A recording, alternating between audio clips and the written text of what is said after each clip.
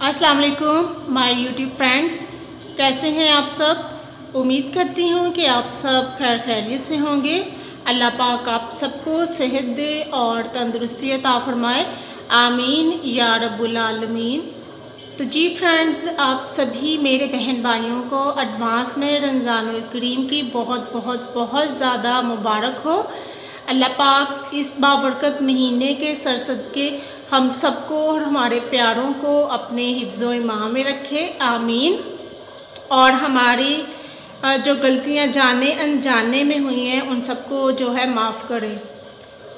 गलतियों का मतलब ये नहीं है कि आपने किसी का गला काट कर आप आगे हो और आप माफ़ियाँ मांगो तो इस चीज़ की हमारे जो है रब ने भी इजाज़त नहीं दी और ना ही इस चीज़ की माफ़ी है।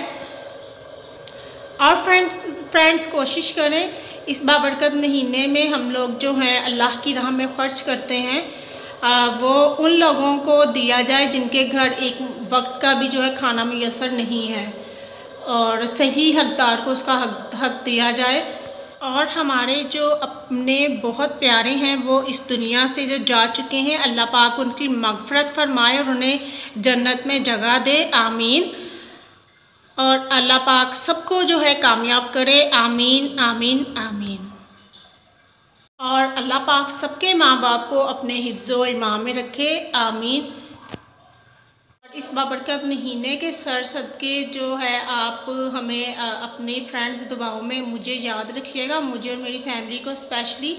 और आपने हर दुआ में, हर नमाज़ नमाज़ के बाद अपनी हर दुआ में हमें याद रखना है। और मेरे सभी बहन भाइयों को एक बार फिर से रमज़ान करीम की बहुत ज़्यादा मुबारकबाद हो। अल्लाह पाक हमें इस बाबरकत महीने के सर सदके जो है नेक काम करने की तफीक दे। आमीन।